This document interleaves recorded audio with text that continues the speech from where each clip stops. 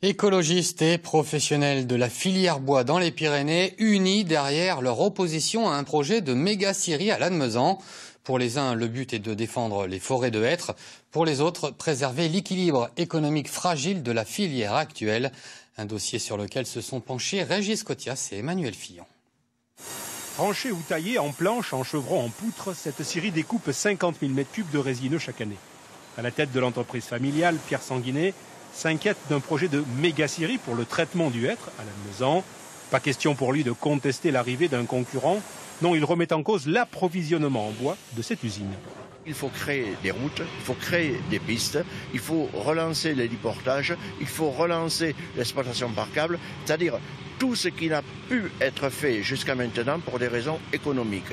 Alors moi je veux bien l'entendre, je veux bien écouter qu'on va faire des routes, mais alors euh, comment se fait-il qu'on n'a jamais pu les faire jusqu'à maintenant faute de moyens? Et tout d'un coup on va trouver des fonds absolument indéfinissables pour pouvoir créer ces structures Un grand projet inutile. Si les professionnels du bois s'interrogent, les protecteurs de l'environnement, eux, dénoncent ce projet et surtout sa taille. Engagé en mars avant le confinement, la contestation se répand sur toute la chaîne des Pyrénées car pour nourrir l'usine, les forêts de l'ensemble du massif seraient utilisées. Pour euh, euh, avoir ces 45 000 mètres cubes de hêtres par an euh, au bord de route, il faut couper 250 000 mètres cubes d'arbres.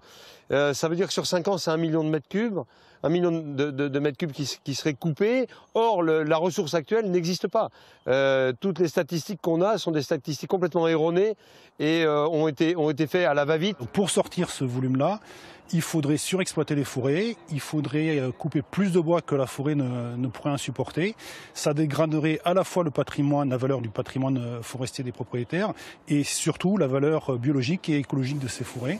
Un industriel italien, le groupe Florian, se dit prêt à investir à Lannemezan. Le maire de la ville sollicité sur ce projet reste pour l'heure muet.